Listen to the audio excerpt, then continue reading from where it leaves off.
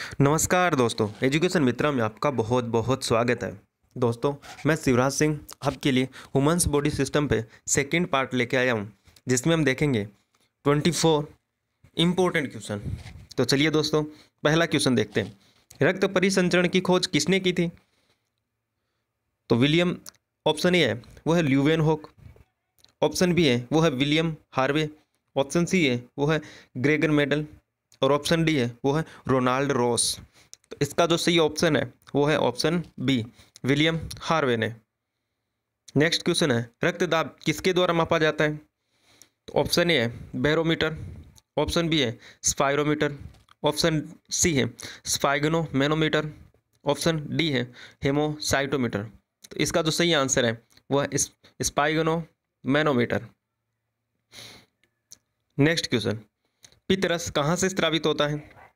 पिताशय से, यकृत से पित्त नलिका से अग्नाशय से। तो इसका जो सही ऑप्शन है। ऑप्शन सी है पित्त नलिका से। नेक्स्ट क्वेश्चन है, यकृत किसका स्रोत होता है? ऑप्शन ए शर्करा। ऑप्शन बी है, वसा में घुला विटामिन ऑप्शन सी है, खनिज लवण। ऑप्शन डी है प्रोटीन तो इसका जो सही ऑप्शन है, वो है protein option D next question RBC को बढ़ने को क्या कहते हैं? जो आरबीसी बढ़ता है, उन्हें क्या कहते हैं? ए है एनीमिया, बी है हेमोफीलिया, सी है पोलिसिथेमिया और डी है ल्यूकेमिया। तो इसका जो सही आंसर है, वो है option C, polycythaemia. Next question है आरबीसी के घटने को क्या कहते हैं? ऑप्शन ए है ल्यूकेमिया, ऑप्शन बी है हेमोफीलिया, ऑप्शन सी है एनीमिया, ऑप्शन डी है परनेसियस एनीमिया। इसका जो सही आंसर है, वो है option C pernicious sorry anaemia. Next question है, स्वस्थ व्यक्ति में कितना रक्त उत्पन्न होना चाहिए? तो ऑप्शन ए है एक लीटर, ऑप्शन बी है तीन लीटर, ऑप्शन सी है पाँच लीटर, ऑप्शन डी है सात लीटर। तो सही आंसर है ऑप्शन सी, पाँच लीटर। नेक्स्ट क्वेश्चन है, आरबीसी का कब्रिस्तान किसे कहा जाता है? ए है यकृत, बी है प्लीहा, सी है मस्तिष्क और डी है हृदय तो इसका जो सही आंसर है, वो है ऑप्शन बी, प्लीहा को। नेक्स्ट क्वेश्चन है, हिमेटोपोयासिस कहाँ से संपन्न होता है?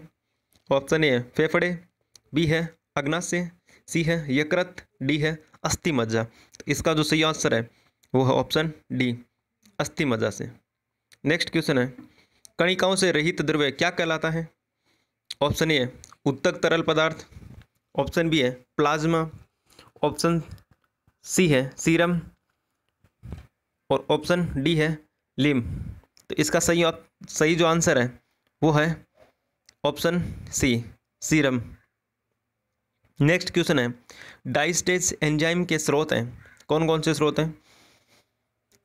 ऑप्शन ए है लार ग्रंथि, ऑप्शन बी है अमाशय, ऑप्शन सी है यकृत और ऑप्शन डी है अग्नाशय। इसका जो सही आंसर है, वो है ऑप्शन ए, लार ग्रंथि।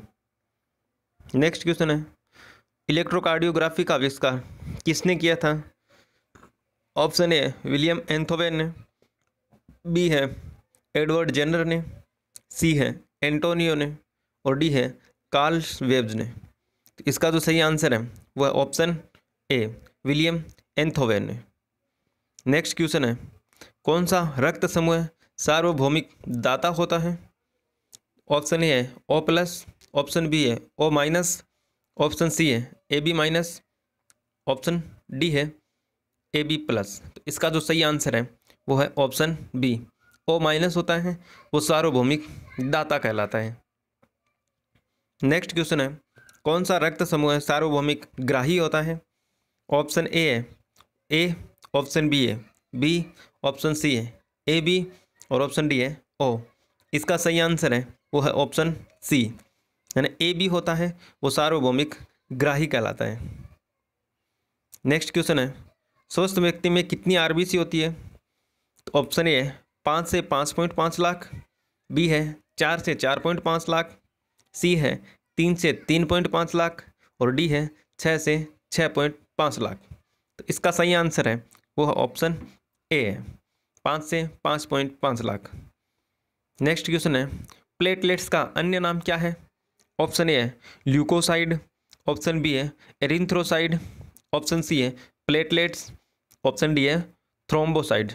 इसका सही आंसर है, वह option D, thrombocytes. Next question है, रक्त में थक्कारोधी पदार्थ कौन सा होता है? ऑप्शन ए है, फाइब्रोनोजिन। ऑप्शन बी है, हिपेरिन। ऑप्शन सी है थ्रोम्बिन और ऑप्शन डी है ग्लोबिन। तो इसका सही आंसर है वह option B, heparin. Next question है, निम्न में से कौन सा उत्तक का उदाहरण है? ऑप्शन ए है मस्तिष्क, ऑप्शन बी है रक्त, ऑप्शन सी है यकृत और ऑप्शन डी है पेट। तो इसका सही आंसर है वह ऑप्शन बी, रक्त। नेक्स्ट क्वेश्चन है, ऑस्टियोसाइट कहाँ उत्पन्न होता है? या उपस्थित होता है। ऑप्शन ए है अस्थि, ऑप्शन बी है रक्त, ऑप्शन सी है कार्टिलेज, ऑप्शन डी है लसिका। तो इसका सही आंसर है ऑप्शन ए, अस्थि। नेक्स्ट क्वेश्चन है, स्वस्थ मानव का रक्तचाप कितना होता है?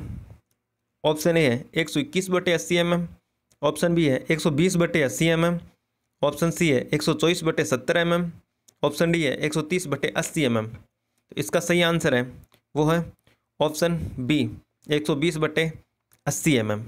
नेक्स्ट क्वेश्चन है डब्ल्यू बी सी का दूसरा नाम क्या है?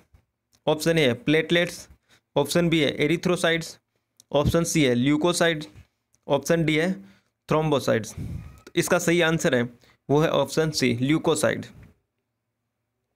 next question है आरबीसी का जीवन काल कितना होता है? ऑप्शन ए है एक सौ अस्सी दिन, ऑप्शन बी है एक सौ चालीस दिन ऑप्शन सी है एक सौ बीस दिन और ऑप्शन डी है एक सौ तीस दिन। इसका सही आंसर है ऑप्शन सी, एक सौ बीस दिन। नेक्स्ट क्वेश्चन है पेस मेकर किससे संबंधित है?